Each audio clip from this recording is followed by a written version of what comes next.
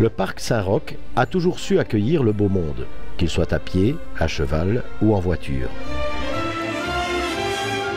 Lors d'un concours d'obstacles organisé dans ce vert joyau,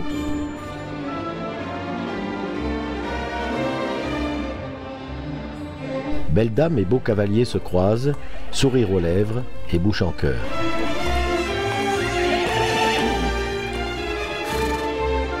La mode de la mini-jupe n'allait pas tarder, un autre saut dans l'inconnu.